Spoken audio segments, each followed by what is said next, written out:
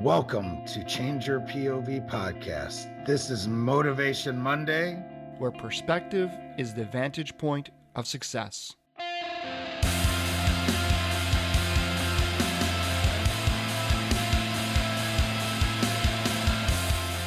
Successful entrepreneurs are givers and not takers of positive energy. That quote is actually anonymous.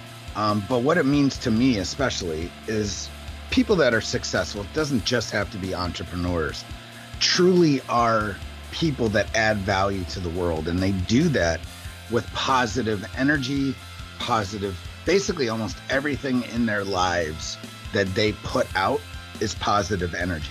Eh, you guys all know if you sit around talking with friends, family, and whatnot, and everyone's got that that family member or that friend that's just a negative negative person and it has an adverse reaction on everyone around them. Multiply that by, let's say, five different friends, right? And if they're all negative, who's also going to be negative? Probably you.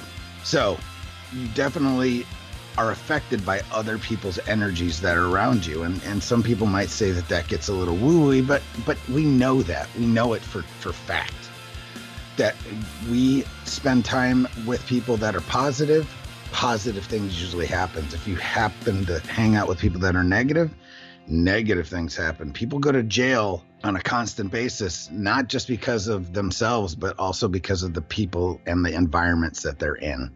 Same with the other things. Millionaires hang out with millionaires. Billionaires usually hang out with billionaires and then they all, you know what I mean? So it, it makes a lot of sense to, to think of it that way. So when it comes down to it all, positive energy influences everything.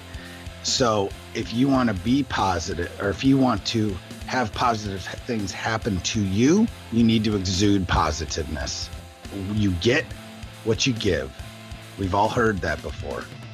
All right. So give what you get, get what you give, and just be positive. Even t- look for the positive in everything. Even negative stuff have positive implications or positive aspects. So that's what I'm going to put out here for this Motivation Monday. And uh, there you have it.